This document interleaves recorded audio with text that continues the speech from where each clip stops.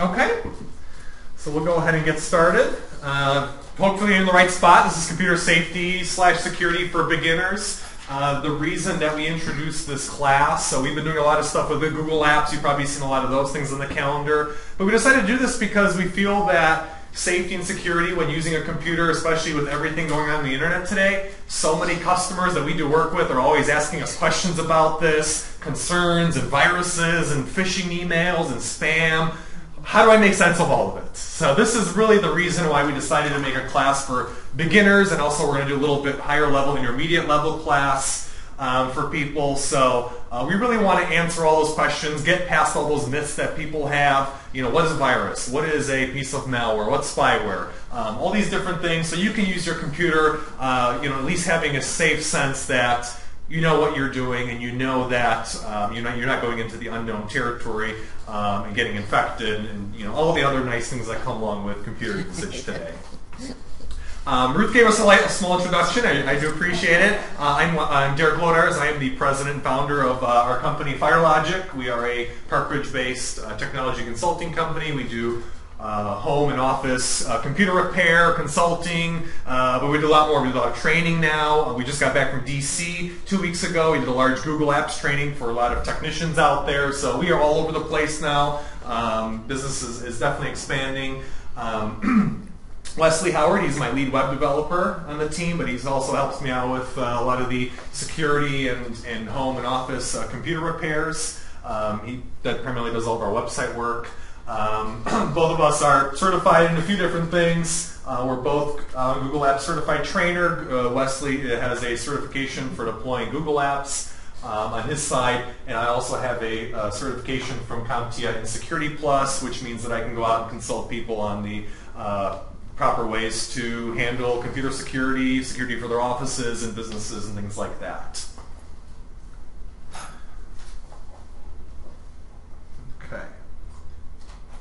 So the agenda for today, very short and simple. Uh, when we do our Google classes, they're a lot more fully fleshed out, but today most of the info we're going to talk about in person. Uh, so that's why I didn't make the agenda as long as, as usual. Uh, but just a, a, few short ways, uh, a few short topics for today. Uh, we're going to start off with a quick video that I think is very interesting and will really open your eyes as to where we are with um, using the internet and your computer today. So I just want to show everyone a quick clip from that. Um, I'm going to ask everyone uh, uh, what scares you? What questions you have initially? What you know are the major topics on your mind? You know, as much as we came to this class with topics we want to cover, we want to know what concerns you. Or Is this something that you want to know in specific, so we can make sure that we address all of the things that you want to know about?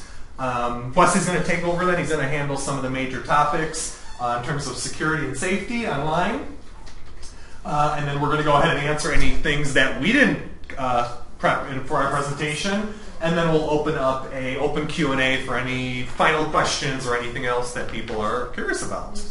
Okay? All right. So here's a little cartoon. We like to throw cartoons in our presentations sometimes. So um, here we have a little uh, we have computer user, and then uh, he's saying, if someone stole my social security number off the internet and stole my identity, thank God I hate being me. So I don't know. That's the way I would see uh, someone taking my social security number, but there's our joke for the day.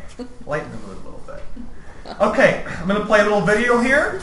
Um, and we're going to start at a minute 30. This is a clip from 60 Minutes, uh, the news program. Um, and they were doing an interview here with you know, one of the um, higher ups from Symantec. Symantec is a large computer security company um, that makes antivirus software, a lot of corporate solutions. Um, so uh, just to open everyone's eyes a little bit, I'll play the video without further ado.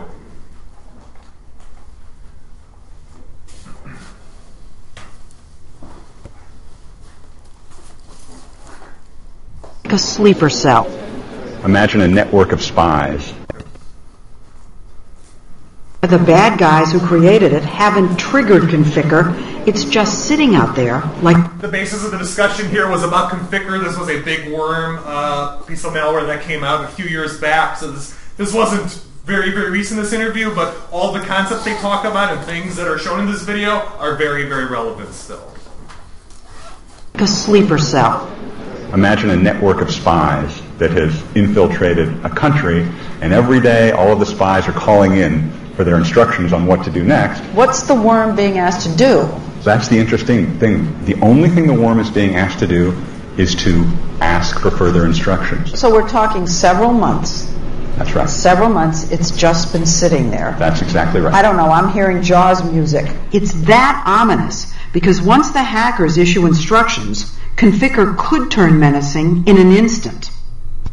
With one click, the worm's creator can instruct it to suck sensitive data like bank passwords and account numbers out of millions of computers, or launch a massive spam attack to clog up the works. The newest targets of worms are social networking sites. Trilling showed us how it might work. So is this a real Facebook page? This is a real Facebook page. Oh, okay. And we added your friend and colleague Morley Safer. You can see down there in the left. He says a worm can crack into a Facebook account like Morley's and send a message to anyone on his friends list. We have a message from Morley. A message I'm sure to open since it comes from a trusted friend. Click there, it says, ha ha ha, check, check out this hilarious video of you. That's right. So Well, I would do that. I took the bait, and by clicking on the video link, something looks a little off. very off. Am I already infected just by that? You're already infected. that quickly. That quickly. As Trilling demonstrated on the second screen, the hacker owned me. From here on out, as we'll see, everything you do is going to show up on the hacker's machine.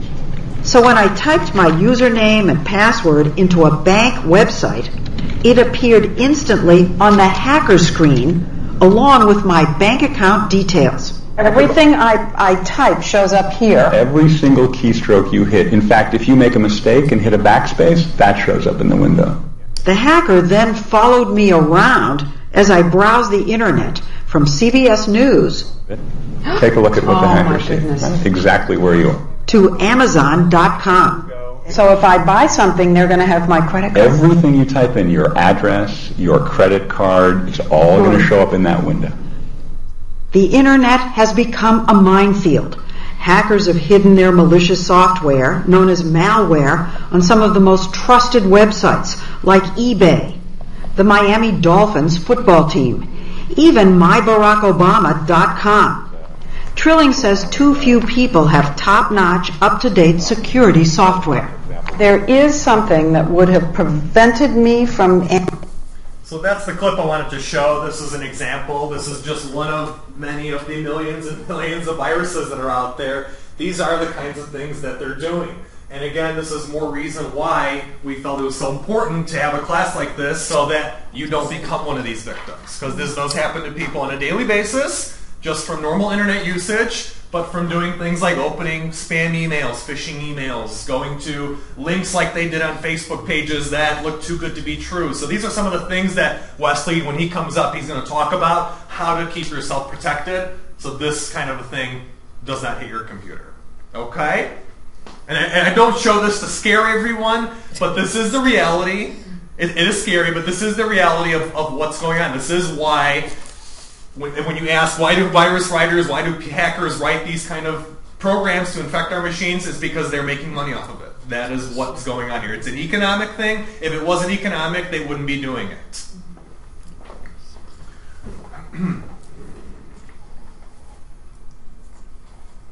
So I guess I'll throw the question out to everyone. What scares everyone uh, about internet security? What do you feel least comfortable about uh, when it comes to using your computer or using the internet? Yes. Someone's going to get the password and have access. Okay. Anyone else? spyware built into antivirus and malware programs. B- built in, Yes. such as uh, you you've experienced this? Uh, I haven't, but a colleague of mine did. He went A found- legitimate program.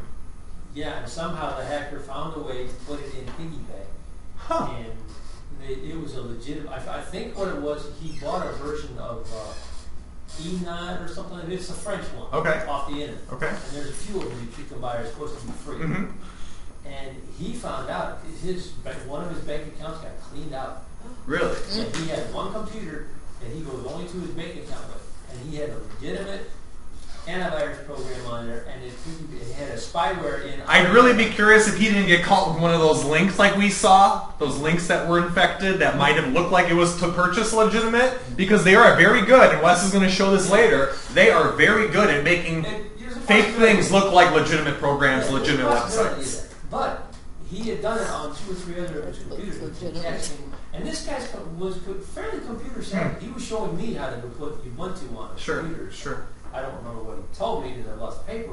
But he, that's one of the things that bugs me is finding out there's spyware on your antivirus programs. And- And it's like, oh, I, I, I'm going to say that's probably the exception, not the rule, because I personally have not run into that in the many years I've been doing this. I'm glad to hear that. Um, I don't know, maybe Wes is in a different position, but I've, I've never seen that before. I, I, I think that we're going to cover an example of what happened to, uh, to him, Okay. just to give a little better um, coverage on it. We- We are going to cover that.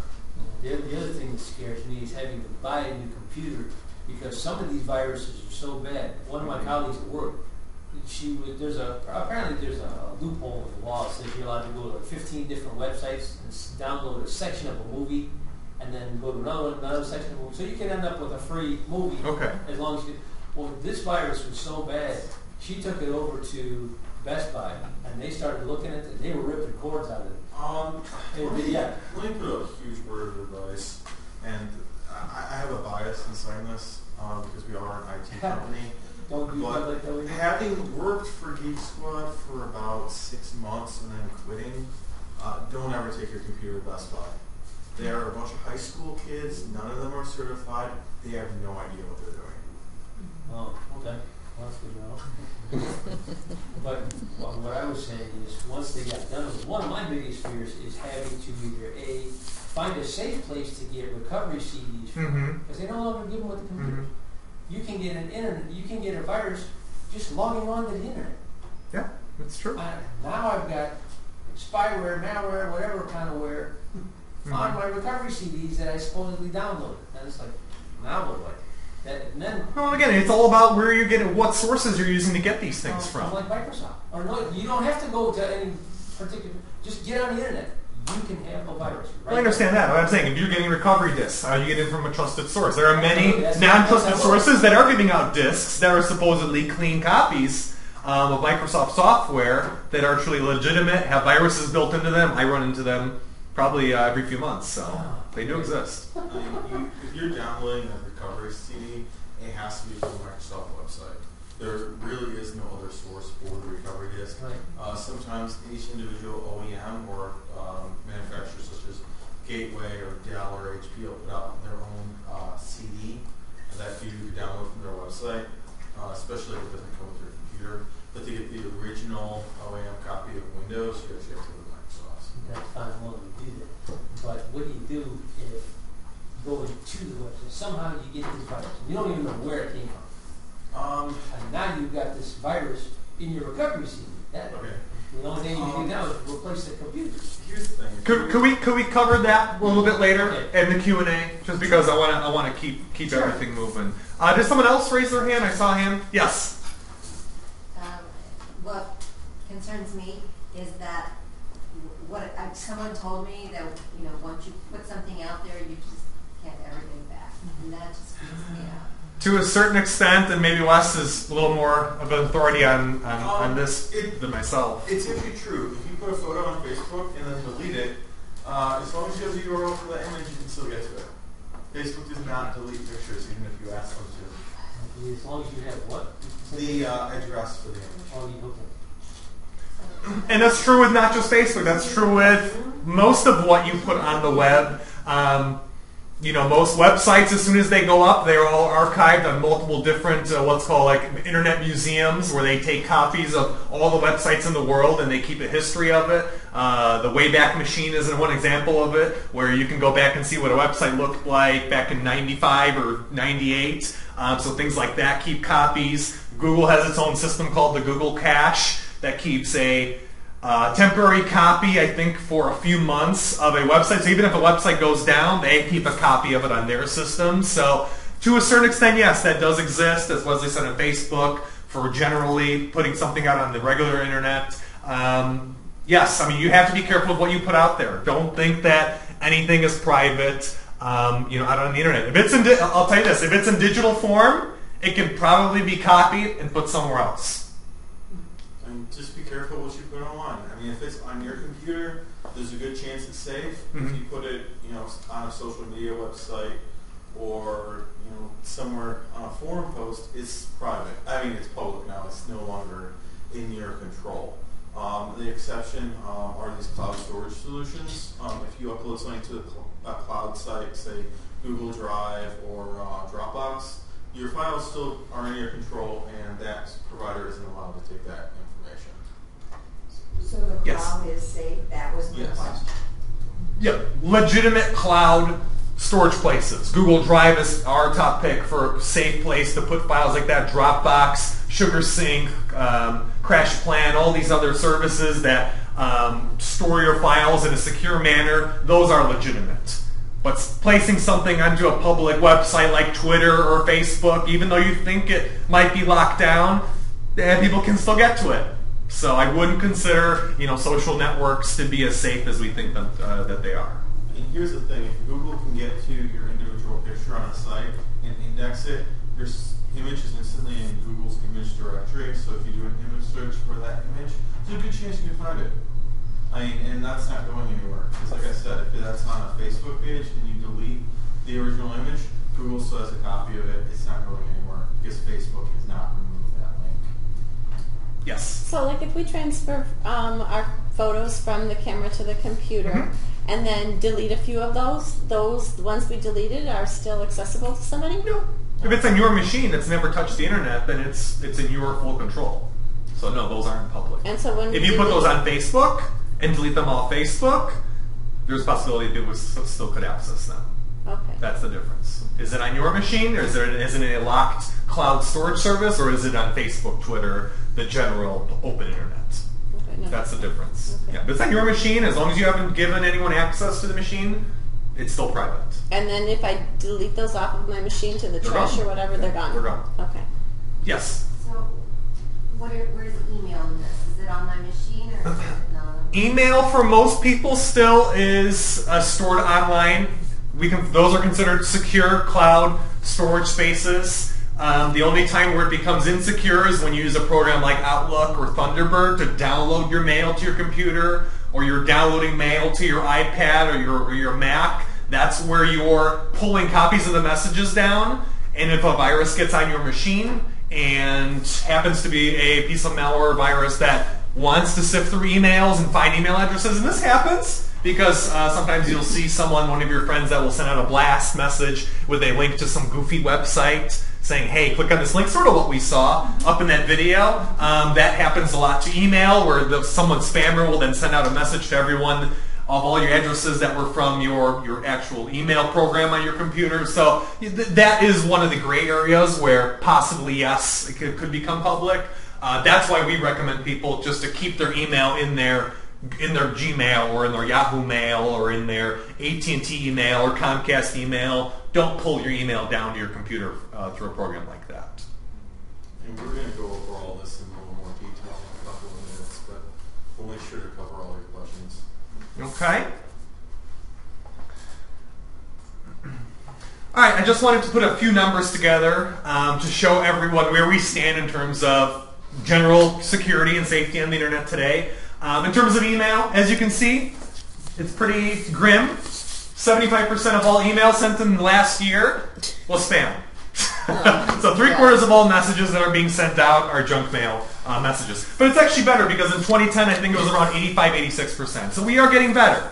We are really we are getting better. A lot of the big spammers are being shut down. Um, all the email systems are getting better, filtering security, filtering software. So that this is not. It looks grim, but it, we are getting better uh, compared to where we were. I think it was in the 90s back in like 2008, 2009. So this number is coming down, but still, most of all email is not even legitimate email anymore. Uh, one of every 299 emails sent out is a phishing message, a message looking for passwords, social security numbers, credit card numbers, trying to get you to buy something, to steal information, or to steal your credit card number. So, um, Wes is going to cover what those are a little bit later as, as well. Uh, and one of every 239 emails sent out has a virus attached to it. That also has gotten better because uh, most email programs are pretty good at filtering that. A lot of people are installing better security software on their computer, so it's not as much of an issue. And again, when you're viewing email on the websites of Comcast, AT&T, Yahoo, uh, Gmail, they are filtering out those viruses right away. But when you download those messages, that's where you open yourself up to uh, any viruses that are on those email messages.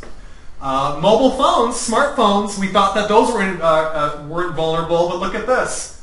In 2011, we had a 93% increase in mobile attacks. So attacks meant directly for Blackberries, iPhones, Android phones. So these aren't, you know, going to escape the, the wrath of viruses and malware. These this will become a larger concern. And while this isn't a very large number compared to how many viruses are floating around the internet, this is only going to get worse as everyone relies more on their smartphones. Um, one thing I want to say, um, unless you're using uh, added Bluetooth accessories on your phones, if you have an Android phone or uh, an iPhone, turn Bluetooth off. Don't walk around with Bluetooth because Yeah, there are very a good suggestion. ton of viruses. Yeah, what goes on in Bluetooth? The Bluetooth is a technology that makes it very easy for us to use little little headsets that the all the people that look like Secret Service agents wear in their uh, um, in their ears, uh, things like that, things like other accessories we connect to our phones. But the downside is that that technology has made it very easy for people to walk by you and spread a virus just by passing you down the street. So again, keep Bluetooth off unless you're using it. You don't know what's going to be passed along by using that uh, that technology. So turn it off, if you're using it in your car because you have a wireless Bluetooth. That's fine. Turn it on. That's fine. And then turn it off. Don't go to the United Center and leave Bluetooth on if you're not using it for anything. That's very dangerous. Um, you, malicious web domains. These are websites specifically made just to pass around viruses. Take a look at this. 2010, we had 42,000 of these. In 2011, we had 55,000. That's a 29% increase in malicious uh, malicious websites uh, that are out on the internet. Uh, these are things that we go to. We do Google searches, and we click on a website that looks like it's got information that we want to learn about. Actually, it's a malicious website. So we have to be careful with where we're going online. This is something that's very tough to control because anyone that has a credit card number can purchase both a website address and to put up a website that contains whatever they want it to contain. Google is not the authority to tell everyone in the world to take their website down. That's what people ask me. Well, why can't Google do something about it? They are trying to do something about it, but imagine how many of these websites that they have to worry about, and they're coming out on a daily basis. So Google Google just can't keep up with taking these links down off of their search results. So we have to be mindful, unless we'll go over this, of how to watch out for these things. Be mindful of where we're going online. Just because Google shows it doesn't mean it's a legitimate place. Not by any means. Uh, and if you're using a Mac, you aren't alone. Every three out of 100 Macs that are out in the wild have some sort of a virus on there. And knowing that most Mac users, uh, you know, take an approach of I don't need any kind of security on my machine, they are more likely spreading those viruses as well uh, to other systems. So 3% of all Macs uh, do have viruses on them uh, today. Uh, and this is uh, a quote from Eugene Kaspersky. He is the founder of Kaspersky Antivirus, a, one of the trusted names in security software. Uh, he said recently that cyber criminals have now recognized that the Mac is an interesting area. Welcome to Microsoft's world, Mac. It's full of malware. This is very true. This number here is only going to get larger uh, as the years go on. So uh, we definitely, and Wes will go over why it's very important to get a good, good antivirus uh, solution for your computer and not to be browsing the internet with no security because as you said, yes, it's very easy to go onto Google or go on the web and get a virus just like that. It is very quick. These viruses are pinging systems around the world uh, on a very on a second by second basis, and if you are going online without antivirus software, you are potentially being touched by all those different uh, viruses that are floating around. Uh, and here's just one last number. Um, one in six PCs today still have no security protection out there. So um, not good, and that's part of the reason why we are doing this awareness class to make sure everyone knows um, how to be using the internet uh, in a safe manner. Are some of these numbers shocking to anyone, or is this sort of what you were expecting? Does this open everyone's eyes, hopefully It's a little worse. bit more than, It's than that worse. video? What was that? It's Worse worse, than than, what I thought. Yeah. I, I thought it was bad, but Yeah, yeah, yeah. Especially when, when we see that 75% of all email uh, out there is spam. Uh, but again, this is why that you know we recommend good email services. Uh, you know, starts off with having a provider that does a good job with filtering out your email. Google's free Gmail service, if you're on a service, you know, some kind of off-the-wall email uh, system uh, that doesn't have a good filtering program, you can get a free email account from Google's Gmail. They have probably the best spam filter uh, in the world. Uh, that blocks the majority of spam. I get hit with about 500 to 600 spam e- emails a day. I might see two, three reach my inbox in a month. So they are very, very good at filtering out those messages.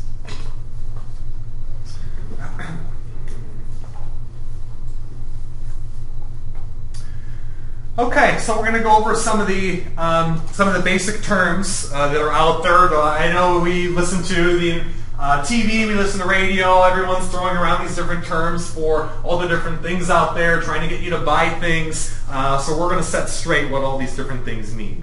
Um, starting off with kinds of pieces of malware. So when we say I say malware, malware is the term that we've come up with to encompass all this junk. Because it used to be back in like mid 90s that viruses were the only thing we had to worry about. But then the 2000 year 2000 came around, and then worms and trojans started to come out, and then around 2004 2005 rootkits started to come out. So so the, the amount of things have just been ballooning. Uh, I will say that viruses make up a very small portion of the different types of malware that are out there today. The majority of what's on people's machines these days are rootkits and uh, worms. These are the most common things that we're seeing in people's systems. And these carry with them, uh, something we'll show in a little bit, they carry adware and spyware with them. You've probably heard of that term. That's the software that pops up, and it looks like a legitimate antivirus program, as you touched on, uh, but it's not. And it, and it looks so real. We'll show a screenshot of it. It looks very real, um, and you think it's a legitimate program, but it's asking you to plug in a credit card number, or your computer's going to explode. And again, this is where sort of intuition comes in. You say, something's not right here.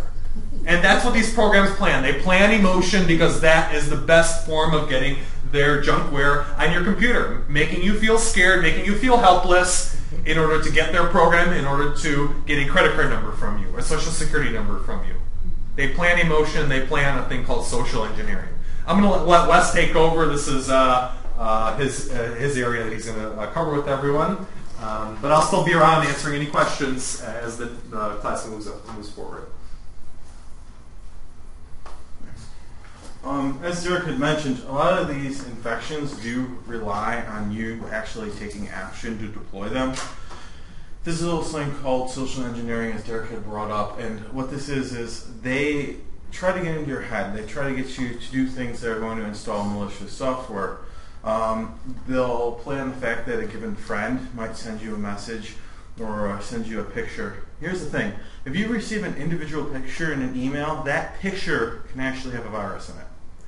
Um, a couple of years back, um, I downloaded a picture from a friend of mine, and he later on sent me a response about two hours later. Don't download that; it corrupted all my photos.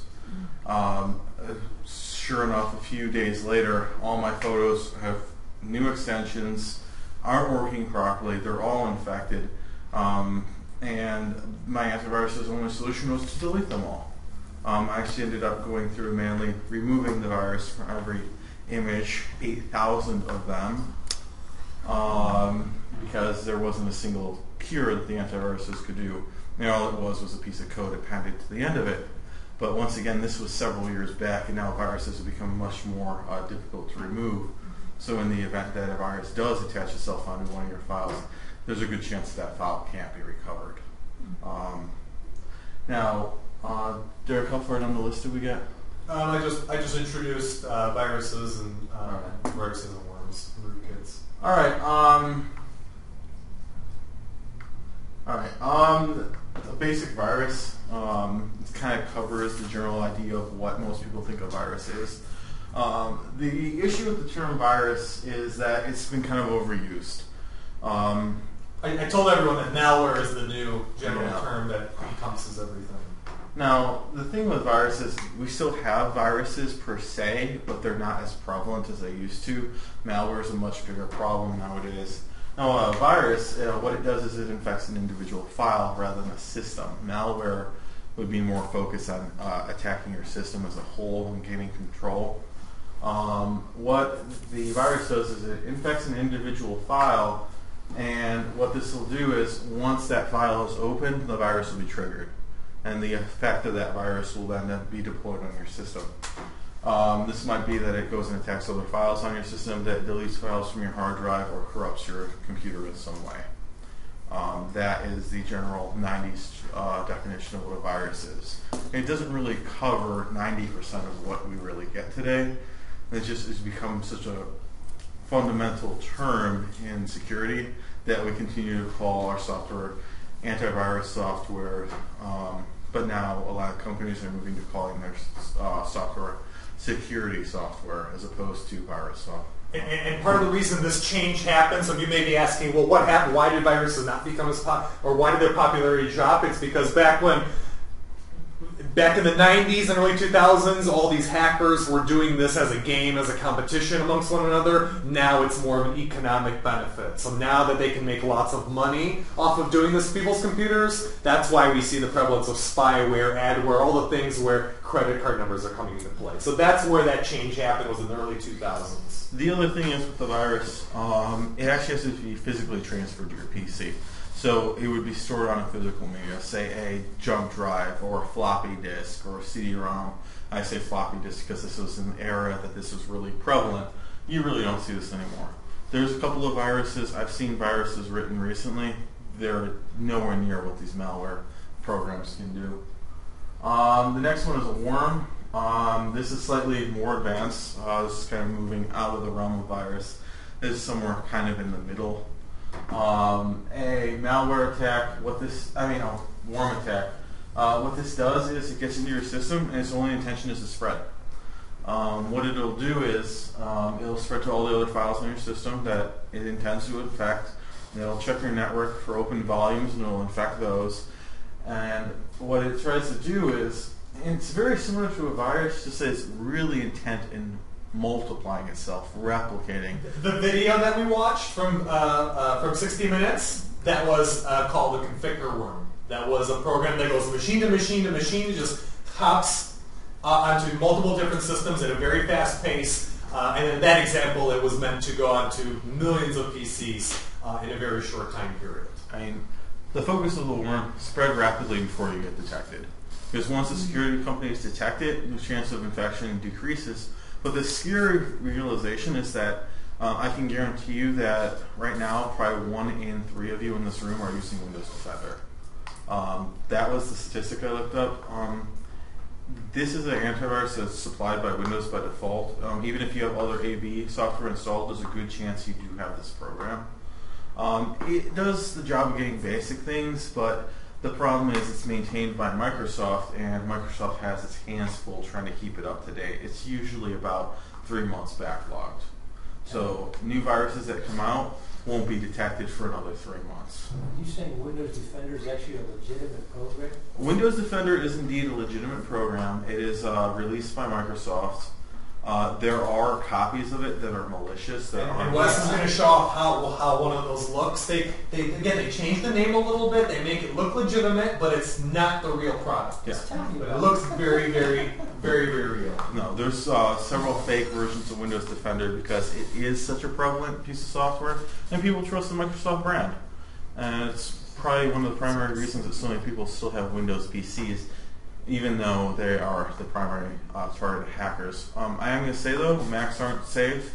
If you have an iPhone, a MacBook, you can still get a virus. It's just it's less likely because it's not really being targeted at.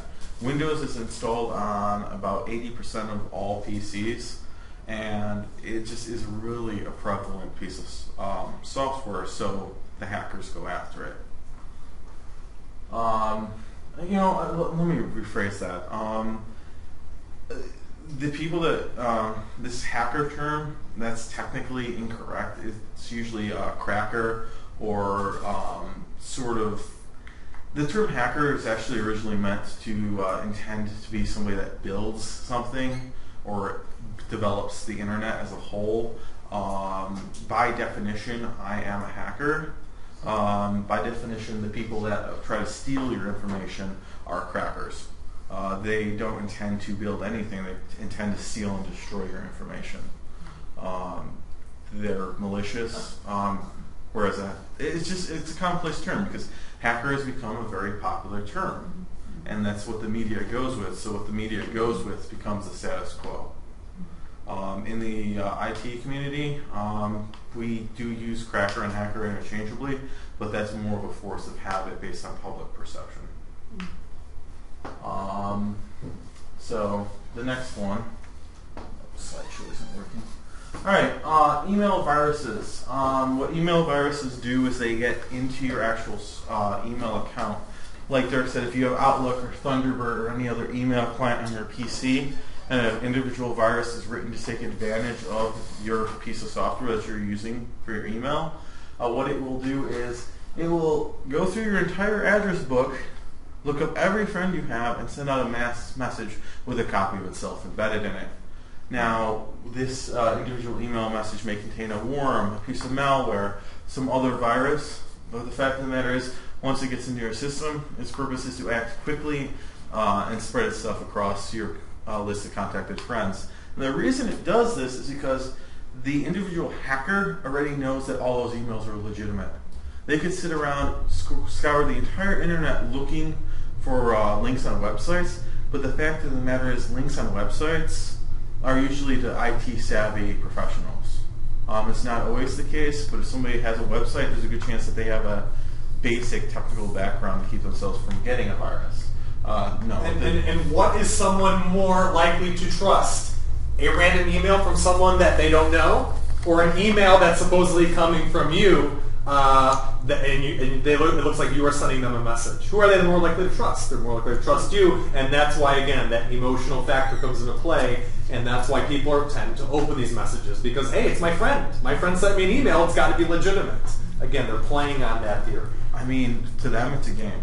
I mean, their entire aspect behind it is to get into your head, figure out how can we make them trust this contact because it's. I mean, if your friend isn't prone to sending you a link about happy kittens, please don't open the link. I mean, if it just seems like it's off or it's too good to be true, uh, the big one going around is $100 MacBook. Uh, the MacBook costs between $1,000 and $2,000. Anyone saying that it costs $1,000, please don't open the link. I mean, just in 99% of cases of phishing or virus infections via email, uh, there's a certain common sense aspect that goes into it. Don't trust something just because it's from a friend. I mean, look at the content of it, call them up if it's something that looks fishy, or just delete it. I mean, if it's literally about happy kittens and you don't need to see that link about happy kittens, I, I personally could do without it. Uh, my uncle sends me about a thousand emails a week, which I've now create a smart folder to just isolate him. It's called the trash can, right? Yeah, no, instant redirect. Um, I did that for a while. He got angry at me. Um, but he sends me these redirects, these links from his friends that are doing the same thing to him. And the reality, I run this stuff through a virus scanner. About five percent of them contain viruses, and this is after they go through the spam filtering and everything else. And it's a little scary because now I have to go to his house and fix his computer because I know he's infected. Then I have to go to all of his friends' houses and fix all their PCs because they're infected. And you know, it's a big runaround. And I'm just like, just stop sending them. What, what's the issue with you guys? And they're like, oh, we like seeing the silly videos on YouTube. I'm like, okay, then do a search on YouTube. Uh, It's it's just a little difficult. So if, if, some if, if you get a ma- uh, piece of email from someone that you're not expecting a message from about something about a link or something they were supposed to send you, the easiest way to get around this problem, call or text the person, ask them, was this something that you meant to send me? If they say it's not, or they say they, they truly didn't send it, you automatically know that it's a virus that sent it on their behalf. So that's that's what I tell people. Just ask the person. Ask them if they were, if they sent you something. Is it only if you go on a link, or are you open a download, or Attachments just- as well, yes. Attachments, but still, the, the, the, these if virus just- fighters don't do attachments as much as they used to because attachments are so heavily filtered now. If you just read the email, you're okay without Um, doing anything, no. or Even that's becoming dangerous Really? uh, now because there wouldn't be pictures that they put into the email, and a lot of times you see that now pictures are automatically blocked. It's because as soon as you download that picture, sometimes that could redirect to a a link to a virus. There's something called a TIP exploit where they actually embed a little piece of code into one of the pixels on an image. Yes, the one individual pixel, something that your eye can't even discern. It might just show up as a little blue dot somewhere on the image. Once that loads on your PC, your entire PC is infected. If I I'm just reading the text. No, just looking at the picture. Uh, reading the text, yeah, um, just the reading. emails contain HTML code now. I mean, just reading the text can technically get you infected. I mean, the fact of the matter is, I, I know it's a little overwhelming, but the truth of the matter is, most of this gets picked up. Um, there's um, a couple of things that I'm going to recommend to you guys just to keep yourselves from getting these viruses, and in addition, we're going to try to protect you guys. Um, one of the other types of viruses uh, I want to go over really quickly is uh, Trojan horse, uh, and this is the one that uh, you probably uh, ran into um, if it was indeed a legitimate program. Uh, what hackers will do is they'll grab the original downloader and installer for a given file, and then they will inject a uh, virus into that application. And as with Troy, um, you now have something that looks like a friendly gift or an application you intend to install that actually contains a virus or a whole bunch of Trojan. But um, in this case, um, it's like for an example, uh, let's say you download a installer for a screensaver. You get your screensaver installed, or your little set of interesting mouse cursors, and then what will come with it is a virus that takes over your entire computer. Um, I had a customer a couple years back that insisted on having these cool, flashy pointers and different screensavers, and she'd keep downloading them, and I asked her to stop because I mean that's how they get you these simple little add-ons to your system. Uh, and if you don't need a glittering trail behind your cursor, I'd say avoid it because um, I see that as probably being the number one uh, source for Trojan horse viruses. Um, what we ended up having to do with her is eventually moving her to uh, Mac PC so she couldn't install these programs. Um, but there was no way to. she she refused to listen to me. Like, there was no way. I mean, once you download it, there's no way to take clean. There virus are out. ways if you have a good antivirus program installed. It's just the prevalence in which she would go into these files like on a daily She was basis. knowingly going into the lines then on a consistent basis, and you're bound to get bit at some point. I mean, that's that's really what happened in that situation. I mean, I, I was I was coming out on like a monthly basis, and she was getting upset at me, and I explained to her why she was getting it, but she wouldn't listen to me. So I'm like, well, it must be your PC. Let's get you a Mac. Um, I haven't. Um, I heard from her uh, the first time in two years. Uh, this last month, uh, she wants me to come out and teach her how to use a video editing program. So, I mean, the fact of the matter is, um, I mean, Derrick and I both do use PCs. I also have several Macs. Um, the concept that Macs are secure, um, it's a fallacy, but they are targeted less. So if you want to go that route, that is an option. Uh, there, there are antivirus programs for Mac as well, which just gives you that added benefit. But um, that's a Trojan horse.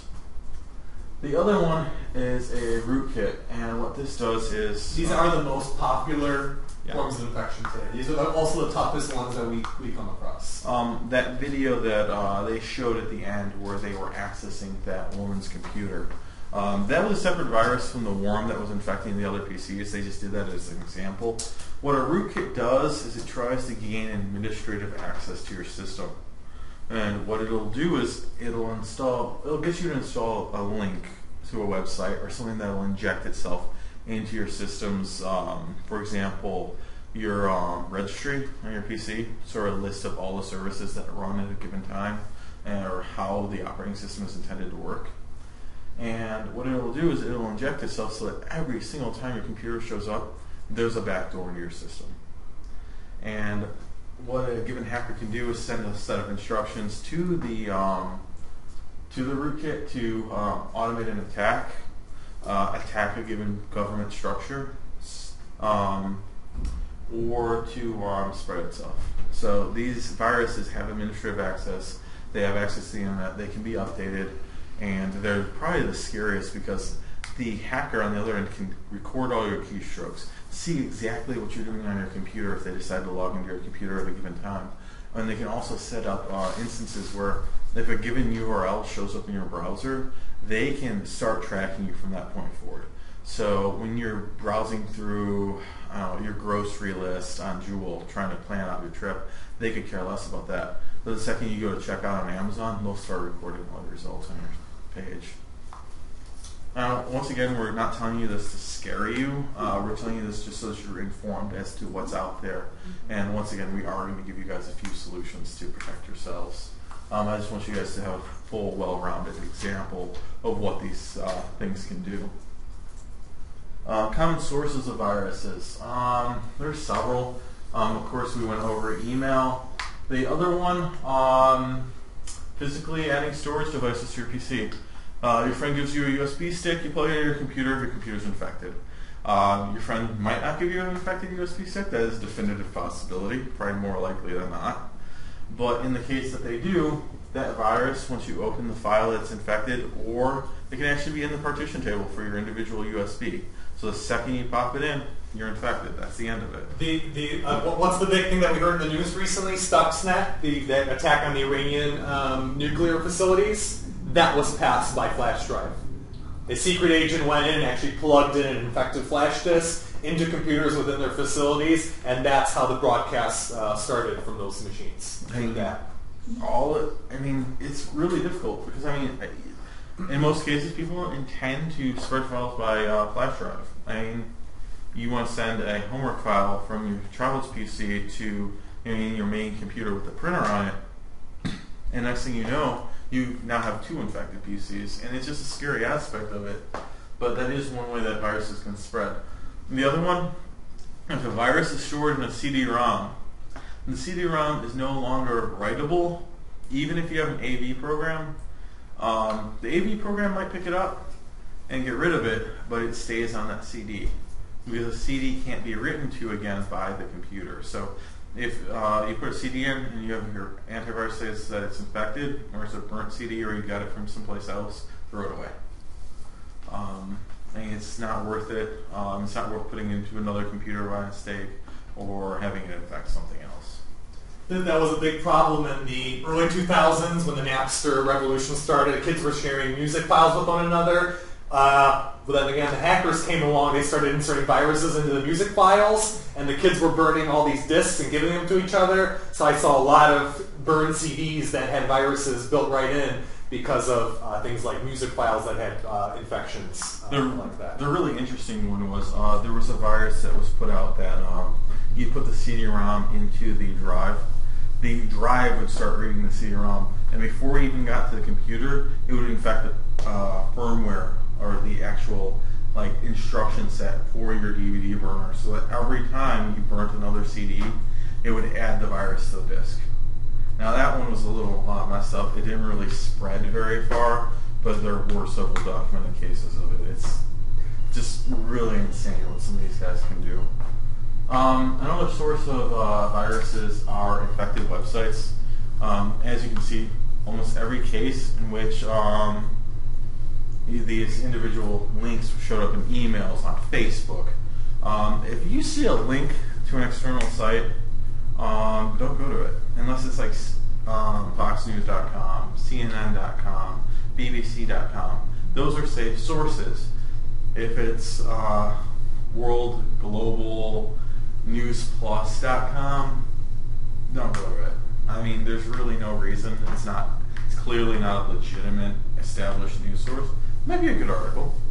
But um, i mean do some research before you go to an individual site.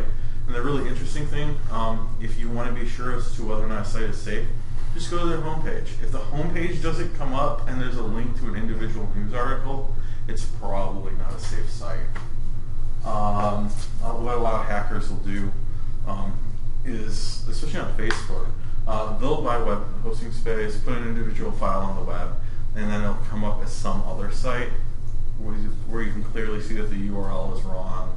Everything to, about that link just does not look right. Just ignore them. Delete the message. That's it. Like I said, most of these viruses, um, they can easily be overcome by common sense. I mean, just be smart when you're browsing the web. Keep an eye to this kind of thing, and realize that there are people out there that want to get your information. Um, one of detail later. Um, the other one is infected downloads. Um, if you download a um, a file, it might contain a Trojan virus, which will then go ahead and infect your PC. Um, we've gone over that one extensively. I'm not going to milk that point anymore. Uh, the next one is uh, P2P software, torrents, and file sharing. Um, for example, Hou- Houses that have a lot of teenagers. This is our biggest issue these days with viruses. Yeah. Teenagers Um, are on these networks all the time. Here's a word of advice. If you received a cease and desist letter from Comcast and you have kids, um, I highly advise that you go talk to them because they're probably engaging in torrent downloads. Um, what this is is you download an entire movie off the internet all at once in one individual file or in multiple files and you bring them all together. Um, and this is a really, really easy way to get viruses. Um, you're to about uh, it's about 10% of the files on these sites are fake. Um, and I mean, while they do have communities built around them that sometimes review them, there's only so much you can do. If a new virus comes out on one of these sites, it's not going to be detected for months because I mean the antivirus programs don't take spy uh, this file sharing seriously. I mean, why should they? I mean, there's going to be so many different variants popping up, and it's really hard to keep track, and they're in isolated little areas. These ones on the file sharing sites aren't usually designed to spread through conventional means. It's designed to spread via this network. They're not going to affect other PCs on your individual network, but they will infect your given PC. And if you continue to share that file with other people, it'll then affect other PCs that download it from you and that's how that spreads. It's more of a original type virus type uh, thing. Uh, some spyware too, but that's a whole other thing. Yeah, so when, when, we work with homes, especially I said, teenagers there, because they are the biggest culprits in this. They always want to get stuff for free, free music, free movies. Fine, you might get away eight times out of ten, but those other two times, you're going to get hit with a virus. There are, you can download albums, and I've seen all this, albums, and two of the songs are infected with a virus. And they say, hey, the music sounds great, there's no infection here, but it's the final track in, uh, from the album that actually has the virus in it. So as soon as they start listening to it, there goes their system. So I've seen that before. Mu- uh, movies will come with, you know, they'll put the movie in there, then they'll say, hey, trailer from the sequel, check this out. That's the actual virus infection right there. All these kinds of things. There's nothing, uh, uh, there's, there's no such thing as getting free music, free movies from sources like that. You are at very, very high risk when you are browsing those kind of networks. Um, the uh, last one is over a network.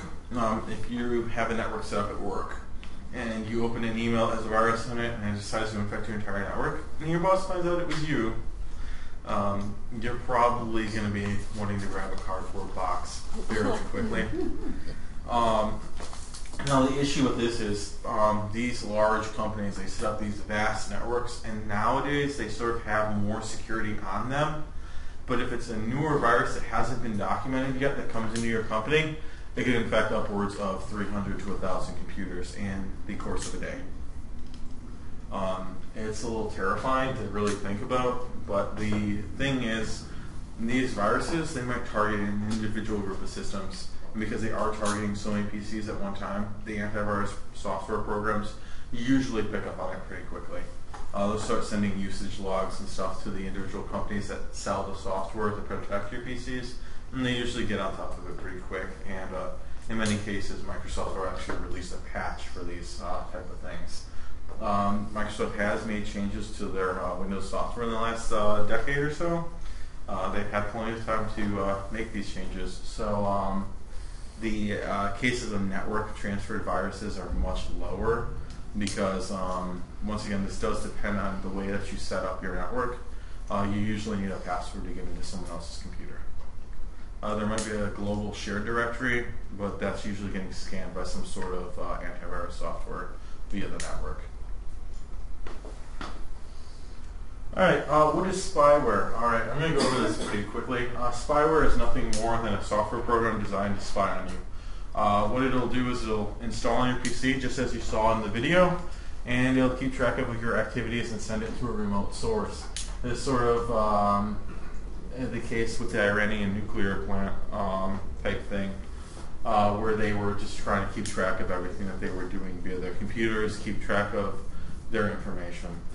Uh, the other one is uh, adware. Uh, how many of you have seen pop-ups on your computer? Show of hands. Um, with um, adware, uh, what this does is it'll install a program that constantly pops up every 15 minutes and tells you to buy something. Um, interestingly enough, in many cases, this software is legal. Um, I've done some extensive research to uh, discern the difference between adware and ma- malware. Uh, in the case of adware, um, I mean, if you agree to install this software, you have to watch these installers. On the bottom, it'll say install such and such program. Make sure to uncheck that because otherwise, like for example, a lot of these coupon websites um, have these individual printers. Here's the thing: you don't need to install any additional software to get a coupon off the internet. Um, any website that suggests you do probably isn't doing their uh, due diligence to protect you. Um, if you need a good coupon site, retailmenot.com is a good one. It's the one I know me and Derrick use a lot for just about everything. They also have an iPhone app. So um, you can actually print out your coupon uh, on your Android phone or your iPhone over a wireless printer. So um, it doesn't really get much simpler than that. Wesley, would you repeat it? retailmenot.com. Just as all one word. Yeah, I've used it too. Yeah. Great website. They pretty much put together all the different coupons that are out on the web. People submit them, and people actually vote on them, so you know exactly what coupons valid, what coupons are not valid. Very trusted website, very highly rated. So if you're looking for discounts on online shopping, even for uh, brick and mortar stores, they have coupons for that too. RetailMeNot.com is a great, great place. Um, I'm trying to think what the other one I used was. Um, what's that one that tells you the uh, daily deals for a given area? You talking Groupon? no. Um, I'll think of it. I'll make. I'll sure to hand it off to Ruth to add to the uh, site. I have to check my bookmarks. Um, but what that one does, and I'll make sure to put it up so that you guys can all check it. Um, what it does is it shows you a list of all the best deals, like just ridiculous deals, like 90% off at Kohl's, or get a free Slurpee on a given date uh, type thing. And it it really is like this really nice bargain site. I'll Is it sure. Living Social? No, it's not looking That's what I social. thought. It- It's slightly more crude than that. Okay, all right. It is. Yeah. It's almost like a forum post, but it really is a trusted source. Okay. Um, the last one is malware. Okay, all malware is illegal, uh, for starters. In almost every case, malware is illegal because it has a malicious intent. The intent is to either steal your information, uh, break into your system, cause damage. Uh, in many cases, um, the reality of it is malware, spyware, and adware all slow down your computer. You don't want any of them. Um, because what they do is they take up RAM, they take up processing power, and they slow your computer way Like the caterpillar, very, very slow. Yeah. Than them. Yeah, essentially. Um, the reality of it is, if you have these software programs installed on your computer, like if you have a computer that you feel is running really slow right now, you probably have one of these programs installed more often than not. Um, now, what we do, malware it acts very similar to the other two, as spyware and um, adware, but uh, the reality of it is, like I said, this is malicious. It intends to do you harm and steal your personal information. That is the discerning difference. The other thing is, it tries to hide itself. Uh, it might not show up. Some of them do show themselves. Some of them try to exploit money from you. Others just sit on your computer and hide. Um, it really depends on how they're coded. Um, these three categories of um, software that we brought up are sort of uh, just a general category heading for all these different types of software. It's just a way of classifying them. Um, each one is up to the virus creator as to what this software actually does. And, and as Wes said, in terms of when that when that piece of malware will become active, some of them utilize a, a functionality called acting as a time bomb. So what that means is you might pick up this piece of malware, say Christmas time, but then Fourth of July comes around and it pops up because it's targeting, you know, purchasing, you know, American um, apparel or some kind of, you know, thing related to uh, Independence Day. So again, they sometimes target themselves to come up at a very opportune time. You know, you're going to think, you know, it's Easter holiday. Oh, perfect time to purchase this item that it pops up on you. When in reality, it's pulling your credit card number, sending it off to China, and they're going to wipe away, you know, that, that credit limit in about 15 minutes. So Yeah. again, be mindful of that. A lot of people ask me, well, uh, I didn't do anything on the computer in the last three days. How did I pick this up? And I tell them, you might have picked it up a week ago, a month ago, three months ago. It's hard to say. It really is hard to say sometimes because a lot of them do include these functions where they're not meant to run right away. They're meant to sit, let you think you're okay, and then come out of the blue and, and start working. Um, like that Conficker worm in that video that we saw earlier that started doing its damage uh, after later at a later date. Let me give you guys an idea of exactly how one of these credit card theft programs work out. Um, envision it this way: hacker gets your credit card information. Now, your individual credit card isn't going to be worth much money for very long because you, they're going to find out about it very quickly. What a hacker will do, because this program is installed on thousands upon thousands of PCs, is they will collect all your credit card information, go into a hacker-only chat room, and sell your entire identity for 10 cents. Because the reality for them, yes, 10 cents. Your entire personal information, your entire credit card history will be sold for 10 cents. Because the reality of it is they can get so many of these credit cards at one given time that your individual identity is not important to them. It's that 10 cents upon the thousand. It's about margins for them. When the FBI picks up these criminals, a lot of times where they find these people is they interact with them on these hacker websites, these forums, where they're exchanging lists and lists of information, credit card numbers from 4,000 people in Niles or the Chicago area, and they're selling and, and trading and bartering these different things amongst one another. That's what these criminals uh, tend to do these days. And the other thing that you have to realize is a lot of these hackers are very young. I mean, uh, I mean making ten thousand dollars a day is a lot of money to them. And you know, you steal a million identities, you pay ten cents on you know on the dollar for them, you make ten thousand bucks, and that's the reality of it. It just comes down to raw economics. Um, you have a large commodity that's very easy to get. It's not worth a lot, and you have to get more of them, which is why these virus attacks become you know such a big deal. Uh, one example of malware. Uh, how many of you have seen this screen? Or Yeah. similar to it, Yeah. a lot, a lot of variants of Um, things like this. This is called Antivirus 2012. I've seen it labeled Win7, WinXP, WinVista. And what it does is it's actually designed to interface with your Windows uh, GUI and it detects the copy of Windows you have. Um, the actual interface will adapt based on your operating system to look like it's part of Windows. If you have a given theme that's in orange, this will show up in orange. It is a very scary program. And, and, the, and the common trend, also, one of the nastier ones that are doing these days, some of them are deleting files on people. Some of them are hiding all every, your desktop shortcuts. I got a few of these calls in the last few weeks. Um, they said, hey, this program's on my screen. I can't access anything except my internet icon. Uh, what's going on? What's with this antivirus program? And I tell them it's not. It's a fake program. It's trying to get you into purchasing a fake product to get your credit card again so they can sell it and do whatever they like to do with it. Now, what this will do is it'll pop up telling you that you have like a thousand an- uh, viruses on your PC. And the reality of it is, there's almost no way to get a thousand viruses on your PC at one time. Don't believe any program that says that you have more than, say, 20 viruses, and I think that that's even high. Um, usually, if you have a good antivirus software installed, it'll come up one at a time.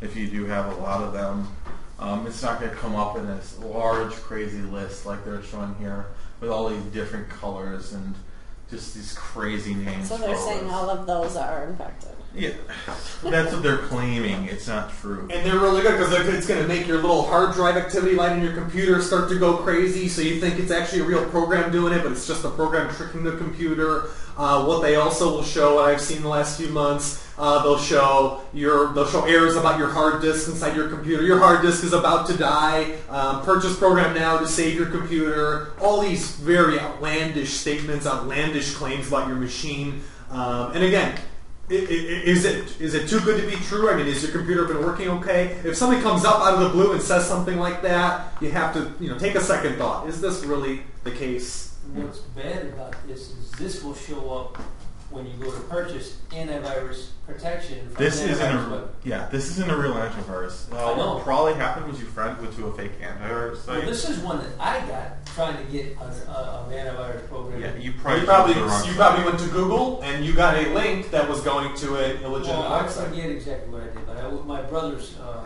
he's got a degree in computer Mhm. science technologies.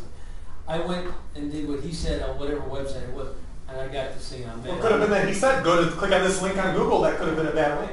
Yeah. Uh, and if, if, you, if you're going to do something like that, you want to go directly to the vendor's site by typing in the vendor's site with, with, in your internet browser.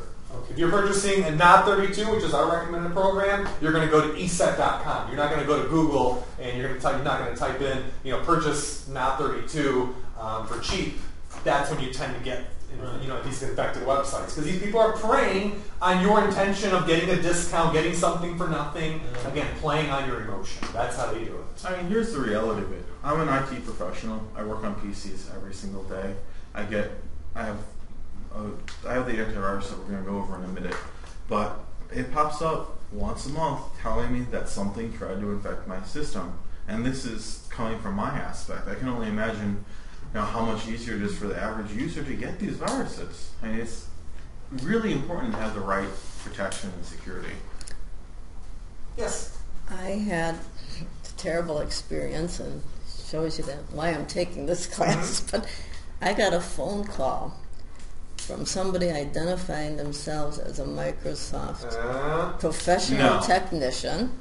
Yeah. when did this Told me this Very was about two three weeks ago. Told me to go turn on my computer, go on the internet, write down this serial number Mhm. big long thing. Then goes me through a button bunch of things and then shows me a bunch of numbers. Is that number that you have that they told me to write down one of those? I Yes. think it's your address. You have a lot of viruses. Showed me a whole list of these viruses. It's a That- big that- circus act. that It's a was circus act what he went through. Um, Because, and then um, finally he says, uh, you know, do you have a, a somebody servicing that you should always have a Microsoft soft professional. And then they finally got to uh, uh, of selling me something. I said uh, something about anti. We can fix it right from here. I says, how much is it going to cost? Two hundred. And then they said depends on what what program you're going to buy. And they put on three different ones, going from forty dollars to about one hundred and ninety nine dollars.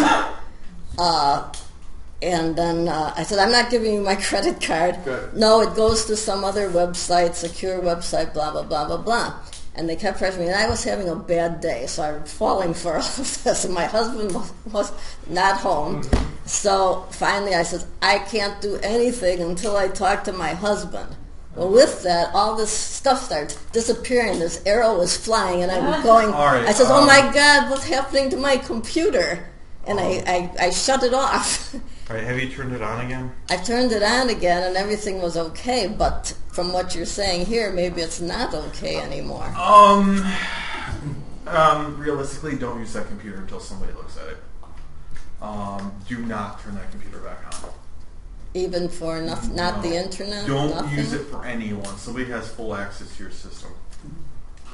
As soon as you clicked on that, whatever he gave you, that serial number, which actually probably was just his gateway of No, I didn't have to click machine. on it. He just said to look at is that number that he gave me on this. Well, you said all this stuff started happening on your screen. That doesn't happen on its own, though. No, somebody. But I thought your maybe it was after after talking to my husband when he came home about this. All of these things were disappearing, and he thought maybe that it wasn't on my computer at all, but it No, was their It was. something that they set up. So this is something that we should have made a slide for. This is becoming increasingly common.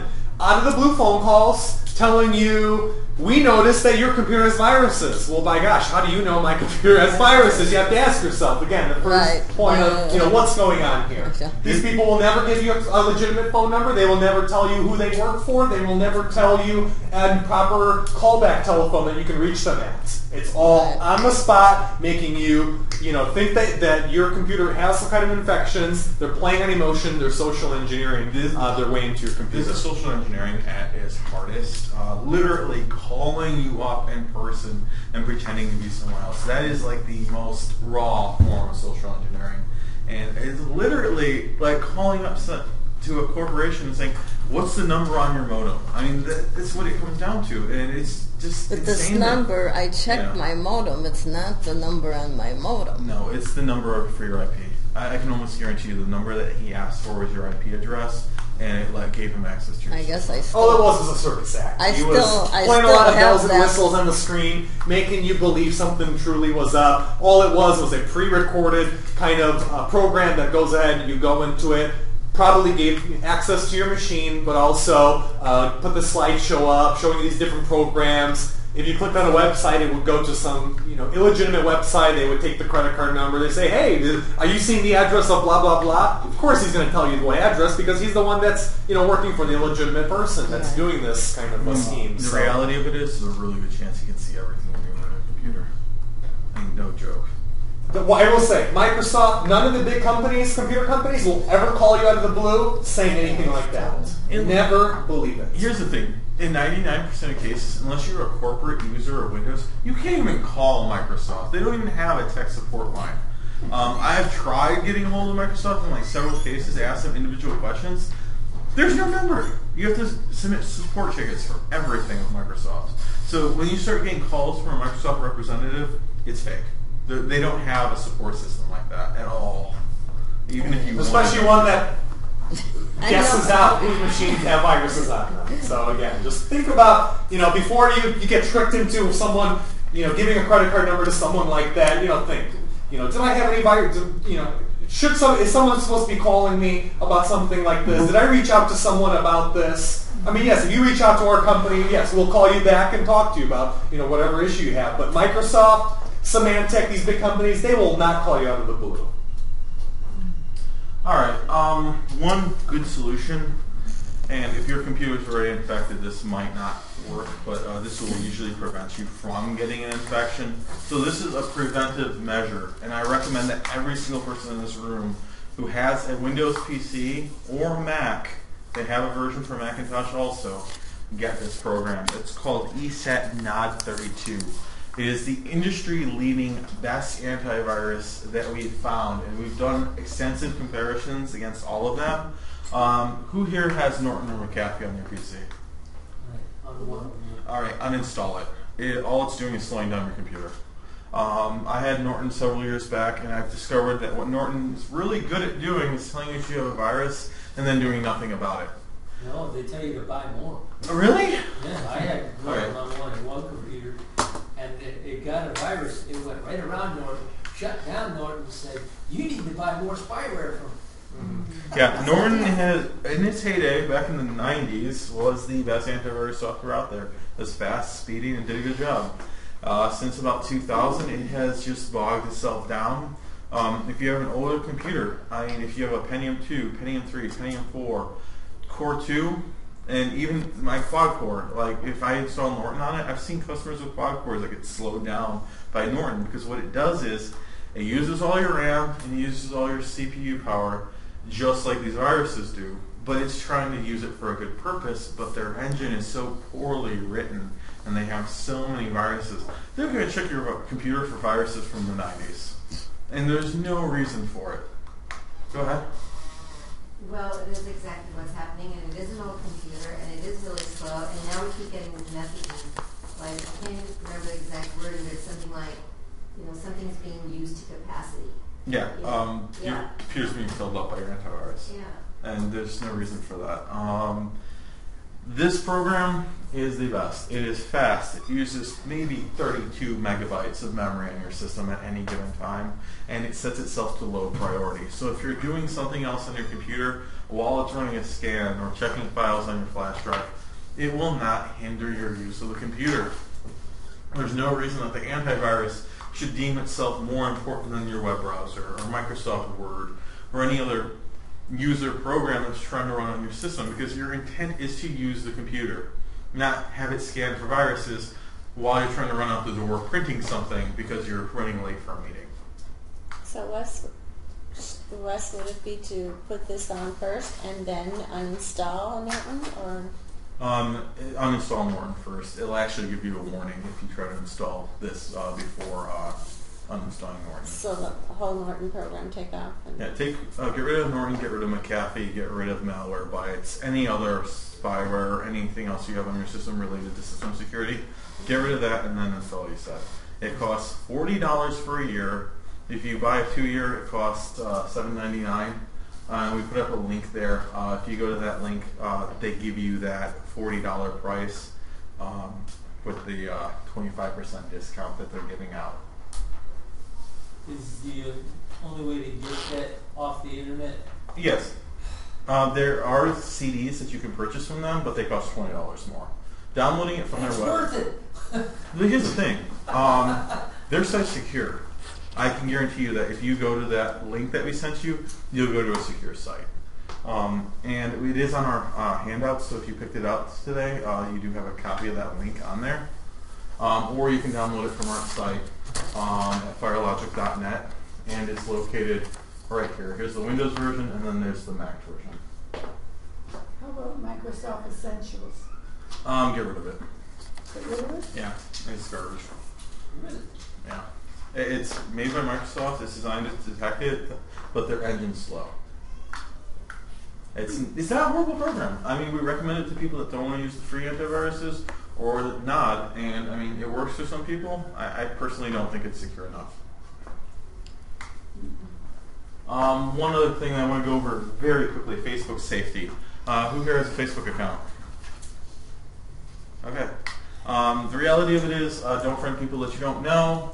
Um, never open up links that seem uh, to be fake. So, like we showed you in the previous video, if you go to somebody's Facebook account and they send you a link to something that just seems wacky or uh, totally impossible, don't click on it. Delete the message or call them. Uh, same thing as a website. Um, don't add your phone number to your Facebook page. A lot of people add their phone number, their address, their place of work, all this contact information. If you don't want someone else to know it, don't put it on the internet. Um, the other thing, um, don't post when you're going on vacation onto your Facebook page. I'm going to Bermuda for the next two weeks. I'm leaving on this date. Um, great. Now, anyone that you know in your network or who has friended you at any point now knows that your house will be empty. Yes. Um, not a good thing. Um, the other thing, set your- Yes, yes, Wes, question. Go ahead. Well, um, one of the kids, you know, they have a, they have a new granddaughter, and so he said, I said, how's your Facebook going? He says, well, I only friend the people that, like, my screening thing is, I only friend people who I want to be able to see a picture of my daughter. Okay. But then, like, the picture's not secure anyway. Well, that's true, but technically speaking, that's the last thing. Set your profile at private. Uh, that limits it so that only people that are on your friends list can see your uh, individual profile. And on top of that, you can lock it down so that only individual friends can see certain components of your site. So you can literally just bring it down. So then, if you have it on private and only certain people can see it, Google then won't index it. can they? Can the friend then pass that information on or open it up? Yes. Technically, if they right click on the image and save the URL for it, they can pass it on. That is a discernible risk. Uh, that's why we say if there's a picture that you don't want somebody to see, or I mean, it, don't put it online. I mean, that's what it comes down to. In most cases, I mean, it's going to be a rare exception for someone in your friend group that you trust, you've given permission to this file, to copy and put somewhere else. And if anything, ask them not to.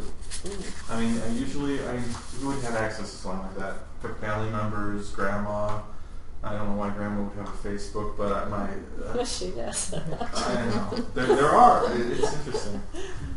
Um, you know, it's not the world in the '90s at all. Um, uh, staying safe with email. I'm going to go over email security again really quickly. Um, no legitimate company will ever ask for your personal credentials in an email. If somebody asks you for your password in an email, uh, report them as spam immediately to whichever search engine you have. Most email programs have this little spam button. The other one, uh, information such as credit cards, social security numbers, and passwords. So none of that. Don't ever give that to anyone via email, uh, unless you're submitting tax forms on TurboTax. That's a whole other thing. Um, if it's too good to be true, it probably is. Like I said, $100 MacBooks do not happen. uh, unless you're on QuiBids, but that's a whole other thing, and you aren't going to win that anyway. Um, there's, uh, let's see, freebies, some other. Okay. Most of that's spam, so you don't want to read those anyway. Most people have learned to mentally filter them out. Find a little button here. Okay. Hi, what does perishing look like? On Phishing. Phishing, thank you. Um, phishing essentially is what its name implies. You're throwing a line out there and trying to catch something. And what these hackers will do is they'll try to fish for your information. And um, they'll send links and emails, uh, check messages for bad grammar if it's from a what you believe to be a legitimate source. If every other word is spelled wrong or sounds like the person sending it isn't very good in the written language, uh, it probably is coming from a uh, country like, say, China, or um, there's a lot of uh, hacks coming out of Africa now. Um, a lot of third world countries are just getting these sort of hacks. Not that China's a third world country, but um, the other one, um, if, uh, if there's any sort of threat against your account where they say um, you're going to lose access to your account, uh, your passwords are going to change, don't believe that. Um, if your password's going to change, it's going to pop up as soon as you log into your email asking you to change your password. Uh, that's legitimate. Um, if it's an email address asking you to send your password so that you can submit a change and to send your new password, they now have your old password and your potential new password that you can now try on all your other accounts. Don't ever send any sort of password information via a physical email. This this this uh, this is a really good blueprint, and this is what I use when people call me and ask, "Is this a real email or is this a, a fake email that someone that a company sent me?" So all these aspects that are shown here are the most common things I always see in these messages. One thing that wasn't covered here: logos. These goofballs that send these messages out, they'll put the Microsoft logo or the Facebook logo, but it doesn't look right. It's been scrunched this way or it's been scrunched this way. So that's your first clue. Spelling, almost always. These hackers, these crackers from other countries, they can't spell properly, so they're like this. Below is two L's. Again, if the spelling's not accurate, the real company didn't send it out. The links portion here, you'll see a link, but look, when you scroll over with your mouse, look where it goes to. It's not going to this website. It's going to this website. That's not legitimate. That's a, that, that is a, going to a fake web page that's going to ask for to put information in that you shouldn't be giving away. So these different things, when you add all these things up, this equates to an email that uh, is actually just a phishing attack. And this is always great. They always put threats on. We're going to shut down your bank account. You will not be able to use your debit card. Your Facebook's going to go away. Your email is going to stop working. All these things that again make it too sound too good to be true, things that are playing on your emotions. So look for these different kinds of things and messages. So if you're questioning yourself, is this legitimate? Is it not? Does it meet these different uh, part, uh, pieces of criteria? Let me go over one th- last thing really quick. Um, one last thing I want to explain to you guys um, is um, wireless security.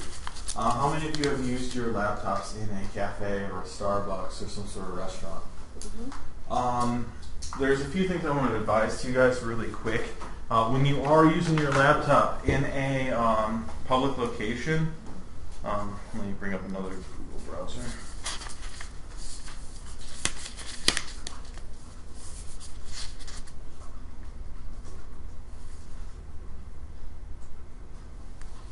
All right, as you can see up in the top, uh, does anyone see anything particularly odd about the URL that I just typed in for Google? There's no www. Oh, not particularly. You can add, add You got an S? it has an S. S. The S is for uh, security certificate, and what that does is, if you go to HTTPS backslash google.com, it'll take you to an encrypted version of Google. So if you're in a cafe, people can't see what you're searching for. Here's a sec- scary aspect of it. There's a program out there called Wireshark. Uh, and this is available for PCs, Macs, Linux. Any hacker who wants this program can get it. And what it does is it keeps a full download of all the internet activity in a given location. And this is designed for network security analysis, but can be easily, easily abused at any time. And what they will do is they'll dump all the information from a Wi-Fi hotspot. Um, I was actually following uh, some guy that was doing an attack on a cafe, I ended up reporting him. It was about a year ago. We had that big power outage that put out all the power in Park Ridge for like a week. This guy was hopping to different Starbucks and different Paneras in the area, and he was just collecting information because no one but these restaurants had power. And he was sitting in the cafe downloading information. And I was catching that he was doing these attacks. I ended up reporting um, his MAC address of his laptop, and I don't know what happened, but abruptly the next day it stopped. Um, How did he spy? you? um, realistically, he tried uh, grabbing a cookie off my Facebook page. He logged into my Facebook and tried spam linking me. Um, me personally, I just keep track of that kind of thing. Um, I found out about it. Somebody logged into my Facebook page. I started running Wireshark on my PC. I ended up catching his IP address, scanning other reports, logging into other people's Facebook accounts.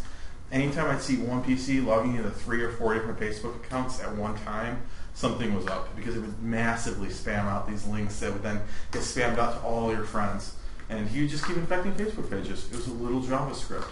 And this is again, this is not something that we're recommending anyone else to do. This is the, the good hacker in Wes that was that was being proactive. Right. I mean, yeah, don't go download Wireshark. It's more than most people would need. But what I'm trying to go ahead. Uh, what I'm trying to suggest to you people, um, when you're doing, don't do credit card information at Panera, please. Um, avoid logging into bank accounts if you're not at home. Um, if you're trying to log into Facebook, there's an HTTPS Facebook, which will give you a secure uh, socket layer for Facebook, um, and that you know that that version's safe. All these www, always make sure that when you're using a social media site or eBay or any of these other sites that it's HTTPS. And there's a large variety of sites that support this now, um, and it's a good way to know that your information is safe and encrypted. Also, if you use the URL above for Google on your laptop, um, you know that your uh, computer is going to be safe because no one else is seeing what you're searching for. And it's not to say that your information can't be gotten. It's just it's another barrier to put up against these hackers. Um, go ahead. When you, example, go to Panera, you have to go and answer a little, little, little question, then you get down to the website. Yeah. Do you put this HTTPS, whatever you want, after? After. Okay, Once you're and then, logged in. and then it'll always be secure, or are you always under the caption of unsecured through Panera? Um, you're logging in through Panera, and then once you're securely logged in, you can secure your own connection. Anyone in that cafe can see what you're doing. Even with this? With this, it prevents them from seeing physically what you're doing. They'll see, still see that you're going to Google, but they won't see what you're doing on that site. So if you go to chase.com with the secure login, they'll see that you went to the Chase site, but they won't know what you were doing there. They won't see your bank account information. They won't see any of that. That's all secure. Um, the last thing I wanted to go over are fake Wi-Fi hotspots. If you go into a Panera Bread or the airport or a Starbucks, and instead of seeing AT&T Wi-Fi or Panera Wi-Fi or some sort of uh, like Zango Wi-Fi hotspot type deal, um, it says free public Wi-Fi. That's an unsecure Wi-Fi hotspot that somebody has set up to try to steal your information.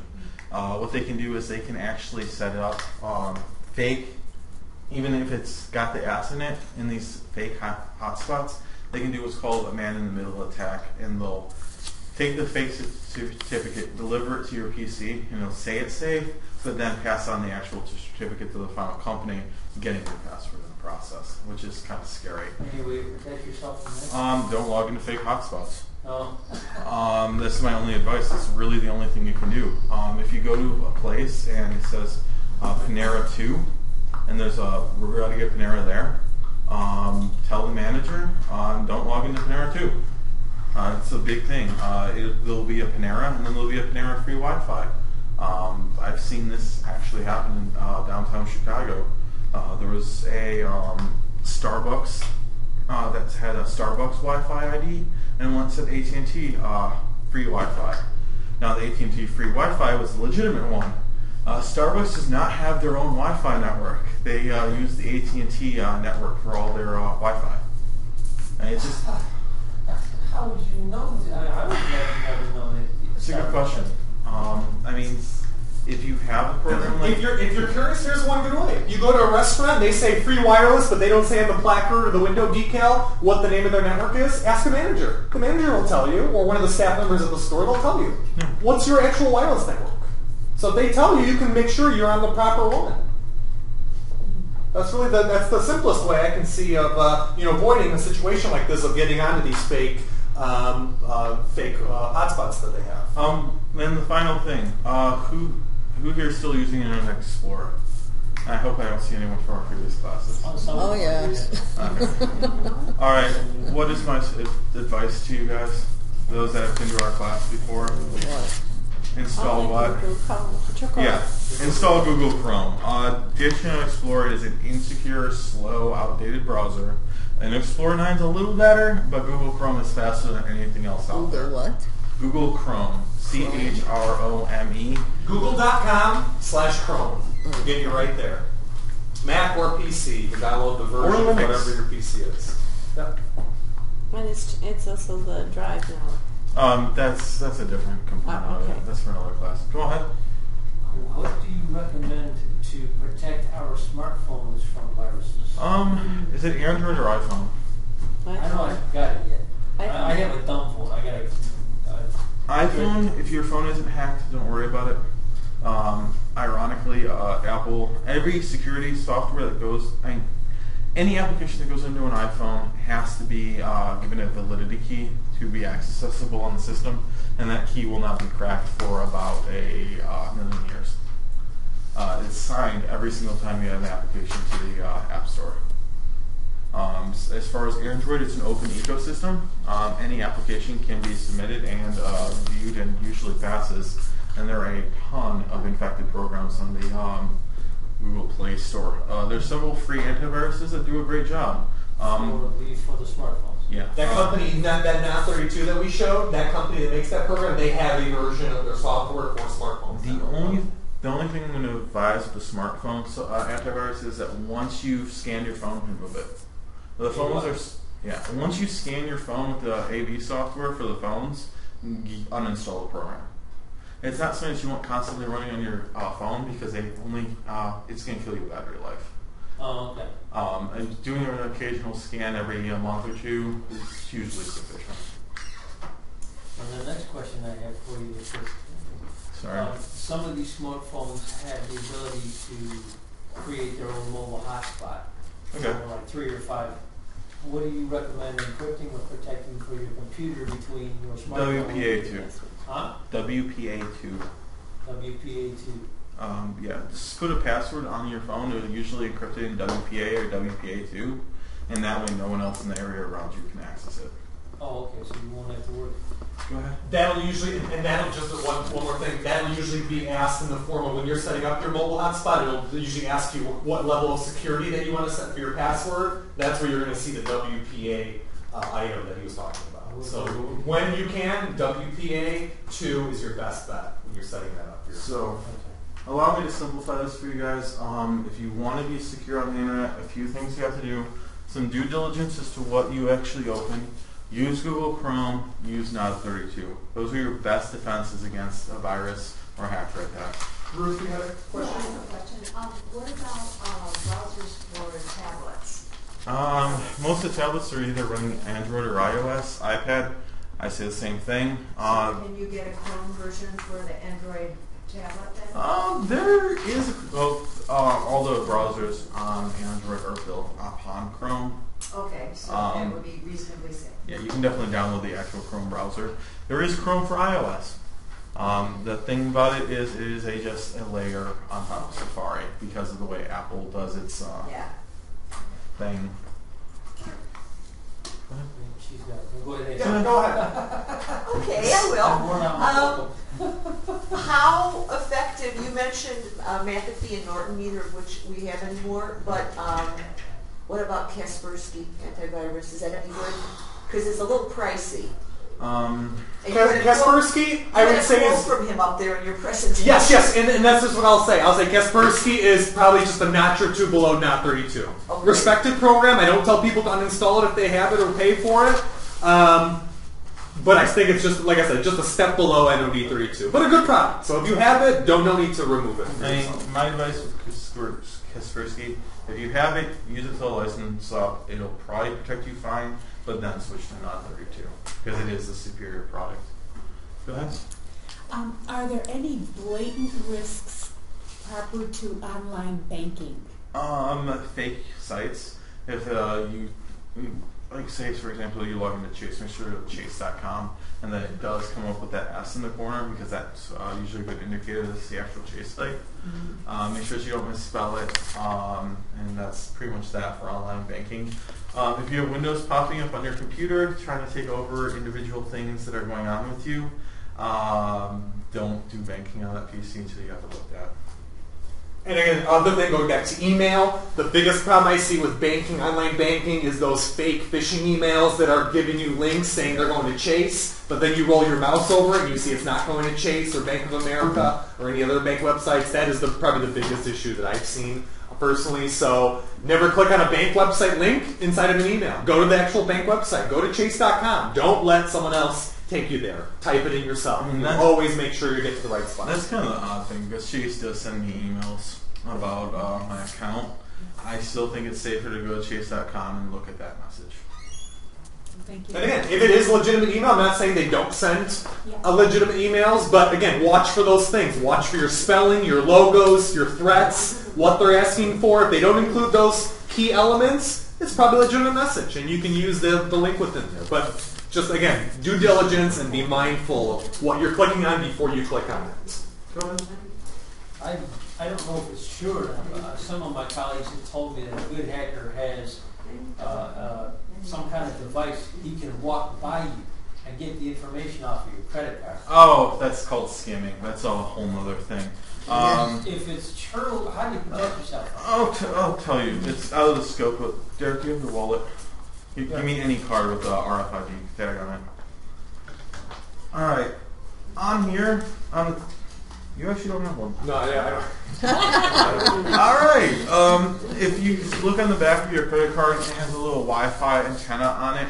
Um, this is my advice. If you ever go to McDonald's or any restaurants that have those little scanners that sure so an upside down Wi-Fi logo, um, that those cards are RFID enabled, and somebody can take your entire credit card information from your back pocket. Now, my advice, uh, realistically, I don't do anything about it because I think it's ridiculous. I've seen aluminum wallets sold online that supposedly solve the problem. Lead-lined wallets. I don't know why you want to walk around with lead in your pocket. I might as well carry a vial of mercury. Um, and then the other one is, um, the easiest solution if it really is a concern to you, um, is to find the little bulge in your card that represents the microchip on your RFID enabled card and drill a hole through it. That is the easiest solution. You can also, all the banks I know for a fact offer the non RFID Yeah. versions. Just ask the bank. I don't tell them I don't want the RFID version. They will send you a copy of your card that doesn't have that wireless technology. So what is I personally don't let my bank send me those versions. I don't want to carry those around. An RFID chip in your credit Yeah, there's a chip in your credit card. And it's supposed to do what? Allow. No, go ahead. Suppose, eh, I have to leave. I'm sorry. Sorry. I'm moving. We'll, we'll lock up. And the so we'll- movers are coming. So there are still some loose things in my home. The door is locked. Had I known Cindy was coming, I would have talked to her before we registered. If it was later, then I would know this stuff. Thank you, So Ruth. Um, we- I'm- we're really grateful that all of you came, and we're so grateful to the gentleman from FireLogic. Let's give him a hand. You guys can stay. I, I know for sure you're good until twelve. Okay. If someone else comes in and says they're using the room, you know you gotta leave. Yeah, Are there any other questions? I want to make sure that anything is answered. this. I want to understand this chip. Is what's the RFID chip for? your credit card? It's, It is for the card to allow to do those transactions without doing a swipe, where you can just tap it onto a device that allows that uh, to be done. So as long as it's drilled or did not. As long as drilled or not existent in, in your card, and if you're curious, you can always call your bank up and ask them, hey, is my card RFID enabled? And they'll be able to tell you what characteristics to look for if it has it. If it has it, you don't want it, just tell them send me one without that technology. They will all offer to do that.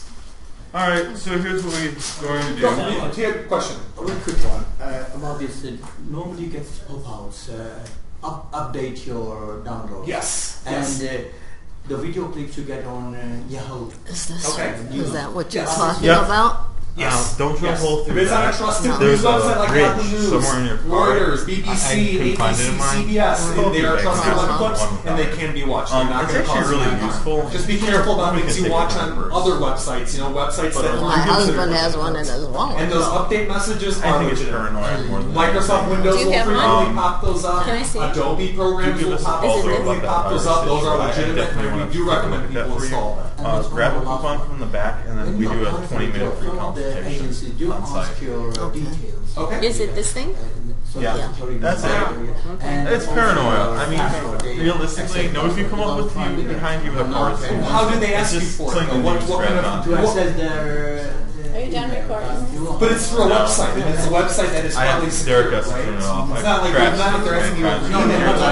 no, Just no. go- Okay, and that's fine. That's legitimate. Go ahead. You look for that HTTPS that we were showing you. That means you're in a secure website. You should be fine. I haven't heard of any employer that would use a non-HTTPS Uh, web yes, there's application several for you to uh, apply. parental blocking programs. You'd have to do a little more research on it. Uh, there are good parental blocking programs. Um, the best one that I've used in, the, in years past, uh, NetNanny. That's the one I re- usually recommend. Um, it's about thirty-five dollars a year, and you get free updates for the entire year. The reason I like it is because they give you the free updates for the entire time you're subscribed, and also they update the bad websites list for the program, so you don't have to worry about is this website going to be blocked, is that one going to be blocked. They're doing that work for you. So NetNanny, best one for Mac and for Windows PCs. What is it? NetNanny, What all is one it? word. What is it for? It's for parental control. Do you have youngsters using a computer? You want to block websites, schedule times they shouldn't be using internet. That all can be done with within NetNanny. All right, so here's what I'm going to do really quickly, and we do this every class. Um, we have our exclusive FireLogic apparel. Um, we have yet to set up an online store, so this is the only place you can get them. Um, I have one tank top and one T-shirt. First person that can tell me the number behind my back uh, gets it. One to We're gonna have, five. we're gonna have uh, fitted tank tops. Three. With new design. You're kidding. All right, I have a T-shirt. First person to tell me the number behind my back. Four, two. One. Nobody's guessed it yet. Five. Three. In the back.